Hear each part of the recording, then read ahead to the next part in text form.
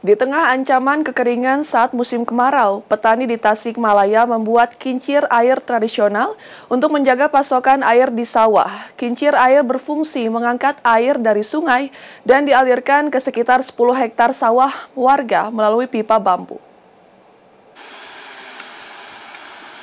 Inilah kincir air tradisional yang dibuat oleh para petani Desa Manggung Sari, Kecamatan Raja Polah, Tasikmalaya.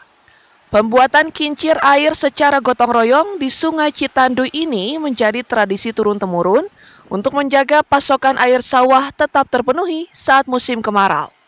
Kincir air berfungsi mengangkat air yang ditumpahkan ke dalam bak kayu dan kemudian dialirkan menggunakan pipa bambu ke sawah.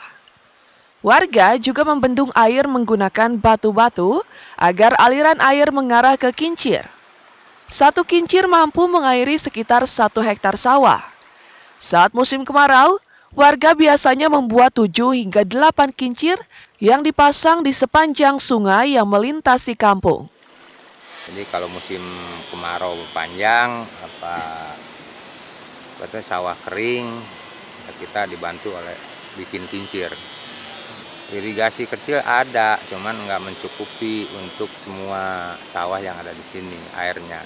Jadi sumbernya sedikit gitu. Itu tergantung yang bikinnya aja. Kalau yang bikinnya banyak, ya biasanya 8, 9, tapi sekarang nggak tahu berapa.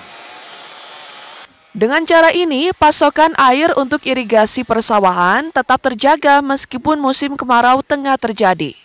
Cara ini juga dianggap lebih efisien dibanding menggunakan mesin sedot air karena harus memakai bahan bakar dan tidak bisa bekerja hingga malam hari.